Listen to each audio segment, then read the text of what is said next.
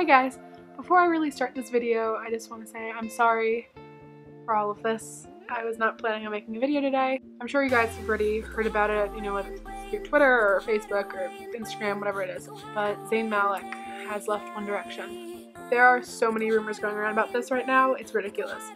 So I thought I'd give my two cents. First, I want to address One Direction's management.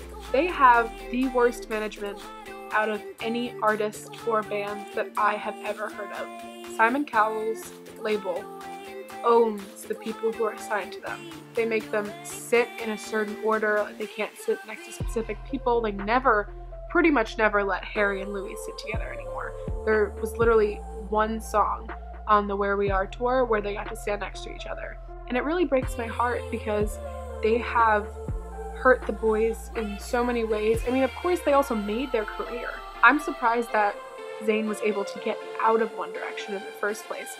I mean, I have a few theories. I was originally kind of confused because I had thought that Zayn was the one who wanted to leave, which could still be true, but I'm not really sure about that. He would have had to buy his way out of all of those contracts or somehow find a loophole, and Modest Management has so many contracts that the boys have had to sign. So I thought it was practically unbelievable that Zayn would be able to just up and leave. Maybe Zayn wasn't the one who wanted to leave. My first theory is that Zayn somehow was able to get out of the contracts that he has with Modest Management. I don't know how, maybe if you're paying them, finding a loophole, I'm not really sure. But I kind of doubt that because they have them under a lot of really strict contracts. Another theory that I have is that Zayn was kicked out of the group. I don't know why, management for some reason did not want him in the group anymore. I think it could all be for attention. I was talking to a friend about this and she kind of came up with this theory and I think it's completely plausible. Back in October when Zayn was sick and had to take time off of the group, could have just been a little test run to see how the fans would react without Zayn.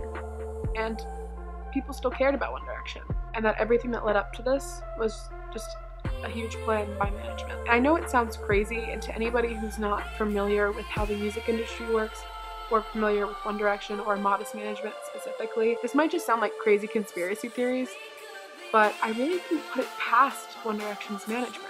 I don't think it's a coincidence that just a week ago, a photo surfaced of Louis and Zayn cheating on their girlfriends. Their management is so powerful, they can easily stop a picture from surfacing. So if they didn't want this picture to surface, they would have stopped it from surfacing, but they didn't. They let it happen because it's all a big plan. Everything that has happened is strategically done. Another reason why I think that this theory might be true is because Zayn hasn't posted anything himself. The only thing that has been posted was from management on the boys' Facebook page. Zayn has not tweeted, he has not posted anywhere about this himself. If Zayn is upset about not being in the band anymore, and if this wasn't his choice, it makes sense that he hasn't spoken about it. The third theory is that Zayn is leaving One Direction because he has a drug problem. Either Zayn decided that he needed help, or management decided that he needed help. And I'm not saying that management did this to be helpful to Zayn, because I don't think they give a shit about the boy's well-being. I'm saying it for whatever reason, they might have been the ones him for it. Some people in this fandom are so naive and just delusional. How can you not see how sick Zayn looks? People are saying, oh, it's his religion, he's fasting. He's not fasting every day of the year. He's obviously doing drugs. You can tell from his face, from his body, from everything, that he looks weak. He looks sick. You know, there have been pictures and videos of him, you know, smoking weed, stuff like that but I'm talking about like hardcore drugs, more like heroin, coke, things like that. You cannot tell me that Zayn is not doing drugs.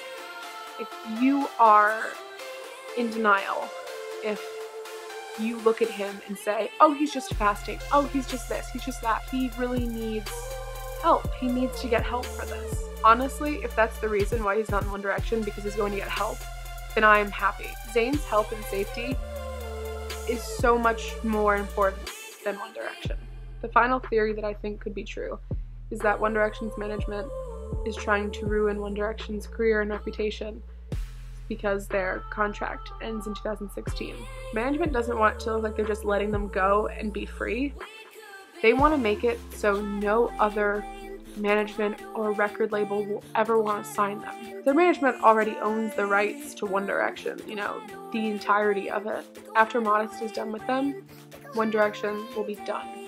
That's how they want it. They're going to destroy them. They want to make it so One Direction will be so destroyed that nobody can fix it. It sounds crazy and it sounds horrible, but I think it could be true.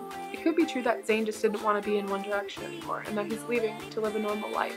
But the probability of that versus any of these other theories is so small. Conspiracy theories aside, the boys are unhappy.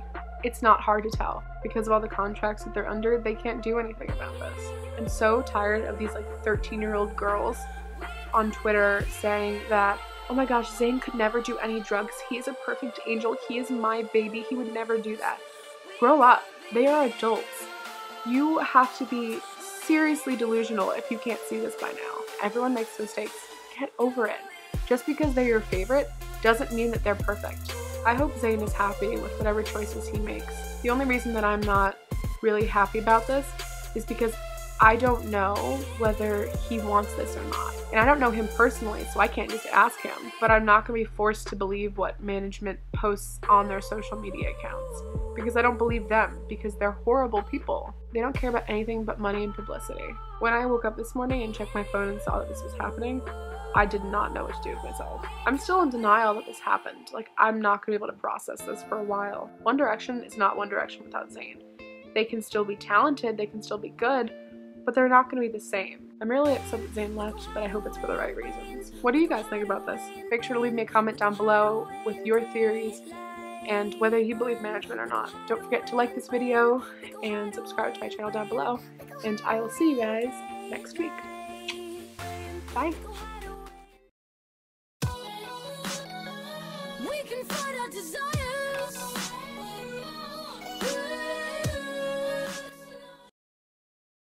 Fuck Modest Management 2K15.